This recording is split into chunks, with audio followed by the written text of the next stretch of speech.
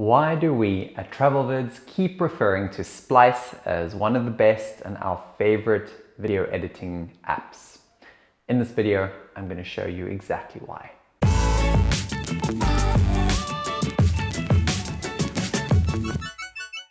I'd love to say that when it comes to editing, it doesn't matter what app you use. Editing is just editing, but that's just not true.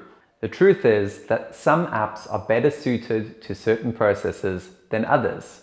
iMovie, for example, is great for making dynamic looking slideshows. PowerDirector is great for interview and B-roll footage videos. And sometimes you just want an app that's good at everything, an all-rounder. That's where Splice comes in. I personally have been using Splice for quite a few years now already, since it was first brought out by GoPro.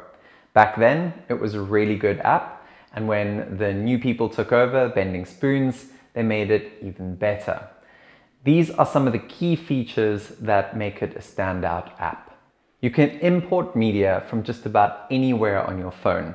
Also, once it's in, you can make use of the highlights feature, which makes cutting down really long clips easy. You can even pick multiple sections from one long clip to use in your edit. It has the usual basic timeline layout, but what's great about it is that now you can also see the length of the clips. You can use the trim and split tools to quickly trim down the video to only its best parts.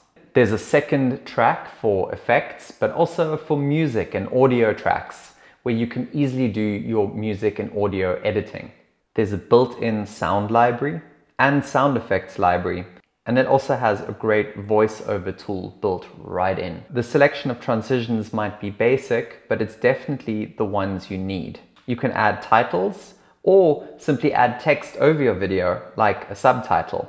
At the touch of a button, you can add in effects, you can speed up your footage, you can adjust the color settings of each clip individually, or just add a filter to do it all in one go. You can download Splice for free to try it out before you have to opt in for the subscription model. So it gives you the opportunity to play to see if it's right for you. If you've chosen Splice as the video editor for you, but you're looking for just a little bit more hands-on help, then be sure to check out the tutorial videos available under this video on this page.